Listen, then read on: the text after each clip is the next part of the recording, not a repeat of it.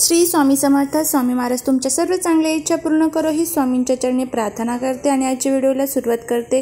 पण त्या अगोदर चॅनलवरती नवीन असाल तर सबस्क्राईब करा आणि शेजारील बेल आयकॉनलाही प्रेस करा म्हणजे माझ्या सर्व नवीन व्हिडिओंचं नोटिफिकेशन तुम्हाला मिळेल आणि तुम्ही एक पण व्हिडिओ मिस करणार नाही. त्याचबरोबर कमेंटमध्ये सु श्री स्वामी समर्थ लिहिला अजिबात विसरू नका. आज श्रावण मासातील अतिशय महत्त्वाचा असा दिवस आहे. आज गुरुवार आहे आणि आज दुर्गाष्टमी पण आहे. असा हा मोठा योग एकत्र आलेला आहे. तर आपल्याला रात्री दिव्याखाली ही एक वस्तू ठेवायची आहे. जो दिवा आपण स रात्री आपल्या घरामध्ये प्रज्वलित करत असतो तर त्या दिव्याखाली आपल्याला ही एक मुठभर वस्तू ठेवायची आहे. यामुळे आपल्या भाग्याचा उदय होईल आणि आपलं नशीब चमकेल. आपल्या घराला जे काही दोष लागलेले असतील तर ते सर्व दोष दूर होतील आणि आपली इच्छापूर्ती नक्कीच होईल असा अतिशय प्रभावी उपाय आहे. दिव्याला आपण ज्ञानाचे त्यागाचे प्रतीक मानत असतो. दिव्यामध्ये सकारात्मक ऊर्जा असते. ही सकारात्मक ऊर्जा आपल्या घरामध्ये भरपूर प्रमाणामध्ये वाढावी यासाठी आपल्याला हा उपाय करायचा असतो. आपल्या घरामध्ये जर नकारात्मक ऊर्जा असेल ना तर आपल्याला कधीच कोणत्याच कामांमध्ये यश हे प्राप्त होत नाही. तर त्यामुळे आपल्या घरामध्ये आपण देवघरामध्ये जो दिवा लावत असतो तर त्या दिव्यामुळे आपल्या घरामध्ये सकारात्मक ऊर्जेचा प्रभाव हा मोठ्या प्रमाणामध्ये वाढत असतो. आणि आज गुरुवार आहे आपल्या गुरूंचा वार भगवान विष्णूंचा वार बृहस्पती देवाचा वार. त्याचबरोबर दुर्गाष्टमी म्हणजेच दुर्गा देवीला आपण ह्या दिवशी भर भरपूर सेवा आपण तिच्या चरणी अर्पण करत असतो. दुर्गाष्टमी हा दिवस अतिशय महत्त्वाचा असतो. रोज जर आपण दुर्गा स्तोत्राचं जर पठण केलं तर आपल्या शरीरामध्ये एक वेगळ्याच प्रकारची ऊर्जाही निर्माण होत असते. या ऊर्जेमुळे आपल्या घ घरामध्ये कधीच कोणत्याच प्रकारचे दोष हे तयार होत नाहीत. आणि ही ऊर्जा सतत आपल्याला कामांमध्ये यश देत असते. तर त्यामुळे रोज आपल्या घरामध्ये दुर्गास्तोत्रमचं ल पठण हे झालंच पाहिजे. आणि रोज तुम्हाला शक्य नसलं ना तर आज गुरुवार आहे. त्याचबरोबर दुर्गाष्टमी आहे. आज नक्की आपल्या घरामध्ये दुर्गा स्तोत्रमचं पठण करा. त्याचबरोबर आपल्या घरामध्ये आज विष्णू सहस्रनामचं संध्याकाळी पठण आणि किंवा श्रवण तरी झालंच पाहिजे. कारण विष्णू सहस्रनाम ही भगवान विष्णूंची अतिशय उच्च कोटीची सेवा आहे. तर त्यामुळे तुम्हाला पठण करणं शक्य नाही ना तर निदान श्रवण तरी करा पण नक्की तुम्ही श्रवण करा. सर्वांनाच वाटत असतं की माझ्या नशिबाने मला साथ द्यावी. माझ्या नशीब हे कायम माझ्यासोबत असावं. आपण असं म्हणत असतो की माझं नशीब हे कधीच मला साथ देत नाही. मी कधीही कोणतंही काम हातामध्ये घेतलं तरी ते पूर्णत्वात जात नाही. तर यामागे अशी काही छोटीशी कारणं असतात जसे की आपल्या घरामध्ये दोष असतात. तर त्यामुळे या समस्यांना आपल्याला सामोरे जावे लागते किंवा मग आपल्याला अनेक अशा अडचणी असतात आपल्या कुंडलीमध्ये आणि त्यामुळे आपल्याला ह्या समस्यांना सामोरे जावे लागते. या समस्या आपल्यापर्यंत पोचू नये. आपल्याला ज्या अडचणी येतात जे आपल्या घराला दोष लागलेले आहेत तर ते सर्व दूर व्हावेत.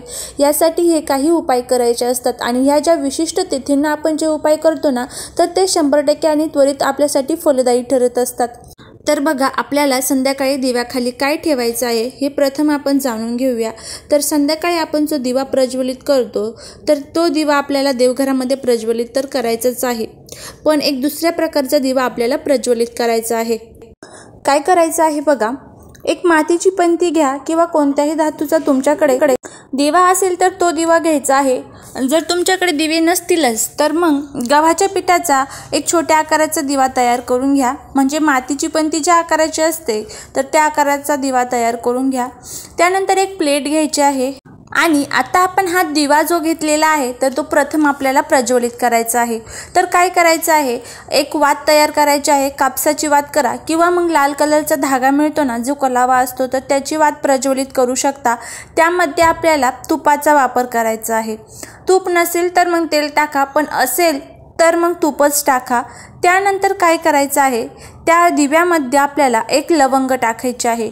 लवंग टाकल्यानंतर आपल्याला देवघरासमोर हा दिवा प्रज्वलित करायचा आहे.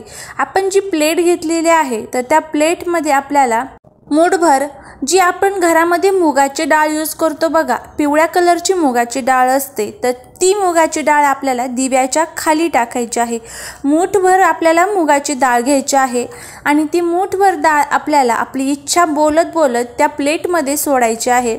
आणि नंतर त्या मुगाच्या डाळीवरती थोडंसं हळदी कुंकू आपल्याला टाकायचं आहे आणि थोडेसे अक्षदा आपल्याला त्यावरती टाकायचे आहेत. त्यानंतर त्यावरती आपल्याला हा जो दिवा आपण प्रज्वलित करून घेतलेला आहे तर हा दिवा आपल्याला त्या डाळीवरती ठेवायचा आहे आणि त्या दिव्यालाही आपल्याला हळदी कुंकू अक्षदा त्यानंतर एक फूल आपल्याला लावायचं आहे. म्हणजेच फूल आपल्याला अर्पण करायचं आहे. तर अशा प्रकारे हा दिवा आपल्याला प्रज्वलित करायचा आहे. रात्री तुम्हाला ज्यावेळेस शक्य होईल तर त्यावेळेस तुम्ही हा दिवा प्रज्वलित करू शकता. आता हा दिवा प्रज्वलित केल्यानंतर तिथे बसून आपल्याला विष्णू सहस्रनामचं पठण करायचं आहे. विष्णू सहस्रनामचं पठण करणं शक्य नसेल तर यूट्यूबवरती वगैरे लावून द्यायचं. तुम्ही तिथेच बसायचं आणि यूट्यूबवरती लावून दिल्यानंतर तुम्ही तिथेच हात जोडून फक्त ते श्रवण केलं तरीही चालेल किंवा मग व्यंकटेश स्तोत्रमचं पठण करायचं आहे. दोन्हींपैकी तुम्हाला जे जमेल तर त्याचं पठण आपल्याला करायचं आहे. यामुळे आपल्या नशिबाचा भाग्योदय हा होईल असं हे अतिशय प्रभावी असा हा उपाय आहे. रात्री ज्यावेळेस देव भ्रमंती करत असतात सर्व देव हे पृथ्वी तलावरती रात्री भ्रमंती करत असतात. जो अकरा ते बाराचा कालावधी असतो तर तो काळ अतिशय शुभ असतो. त्या काळामध्ये सर्व जे देव असतात जे देवी देवता असतात तर ते पृथ्वी तलावरती भ्रमण करत असतात. आणि आपल्याला त्यांना आव्हान द्यायचं आहे की माझ्या घरामध्ये मी तुमची सेवा करतोय किंवा सेवा करते तर तुम्ही माझं जे घर आहे तर ते सुखी समाधानी ऐश्वर्यात ठेवा. माझ्या घरातील प्रत्येक व्यक्तीच्या इच्छापूर्ती करा. माझ्या घरामध्ये जे काही दोष आहेत ज्या काही अडचणी मला येतात तर त्या सर्व दूर करा. अशा प्रकारे आपल्याला तो दिवा प्रज्वलित केल्यानंतर आपल्याला सर्व देवांना प्रार्थना करायची आहे. आणि दुर्गाष्टमीसुद्धा आहे तर त्यामुळे व्यंकटेश स्तोत्रमबरोबरच आपल्याला दुर्गा स्तोत्रमचं पण पठण करायचं आहे ही गोष्ट लक्षात ठेवा. आणि पठन करणं शक्य नसेल तर यूट्यूबवरती लावून द्यायचं. दोन्ही श्रवण केले तरीही चालेल पण दोन्ही आपल्याकडनं श्रवण किंवा पठन हे झालेच पाहिजे. तर अशा प्रकारे आपल्याला हा दिवा प्रज्वलित करायचा आहे.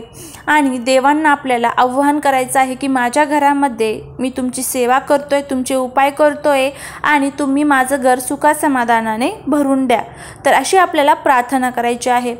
अतिशय प्रभावी असा हा उपाय सर्वांच्या आयुष्याचं कल्याण करून जाईल सर्वांच्या आयुष्याचा भाग्योदय हा नक्कीच होईल अतिशय असा हा प्रभावी उपाय आहे. तर झालेली सेवा ही महाराजांच्या चरणी अर्पण करते. व्हिडिओ इथेच संपवते. श्री स्वामी समर्थ.